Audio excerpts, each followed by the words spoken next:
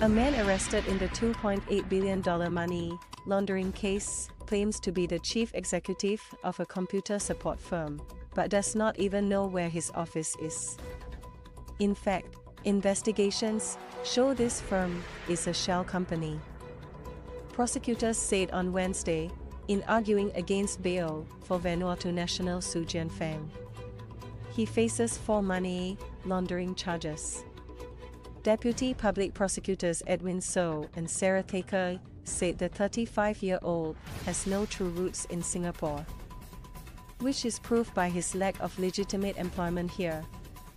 In their submissions to deny him bail, the DPP said he claims that he is the CEO of Enshing Technology, which he purports is an active company with ongoing projects. However, Investigations show that this is a shell company. They added that as at August 15, which was when Su and nine others were arrested for their suspected involvement in this money laundering case.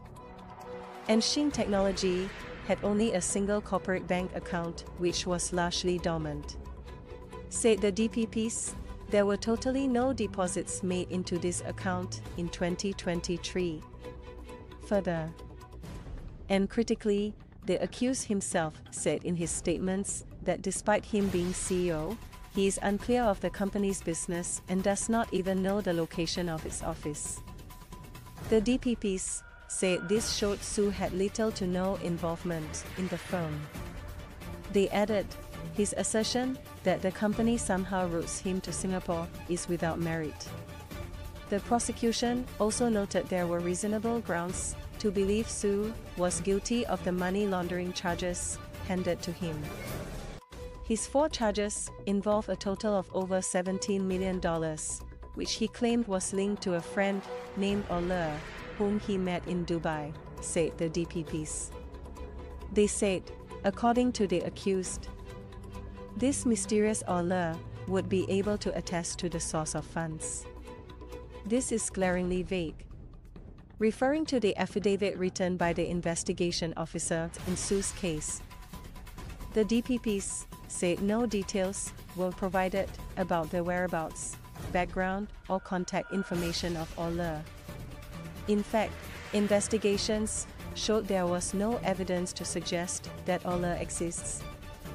On Wednesday, Sue was denied bail by District Judge Terence Tay. He had also refused bail for three others involved in this case, Lin Baoying, Zhang Ruijin, and Wang Dehai. In an affidavit, Senior Investigation Officer SIO Lim Yong Kyong of the Criminal Investigation Department supported the prosecution's application that no bail be granted to Wang. SIO Lim said Wang was a customer service employee who dealt with punters in a Philippines based online gambling business.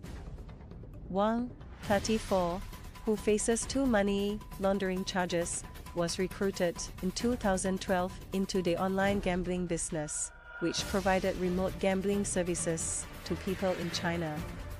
SIO Lim said that after working as a customer service employee, the Cypriot National became a promoter, which involved posting advertisements for online gambling on popular websites.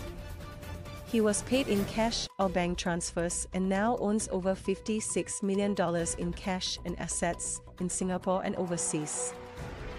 He was charged in August with being in possession of $2.3 million, which allegedly represented his benefits from criminal conduct.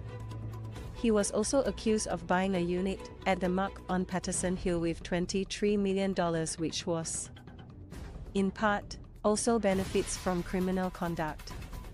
SIO Lim say evidence showed the money in both charges can be linked to such illegal remote gambling operations that he was allegedly involved in overseas. Court documents show that more than $42 million of Wang's assets here was seized, including a property worth $23 million, $2.3 million in cash, $3.7 million of cryptocurrency, $12.6 million in bank accounts and two vehicles worth $550,000. SIO Lim, said Wang, admitted to having substantial wealth overseas, including two houses in Xiamen, China, worth around $1. 06 million in a house in Cyprus with an estimated value of $2.9 million.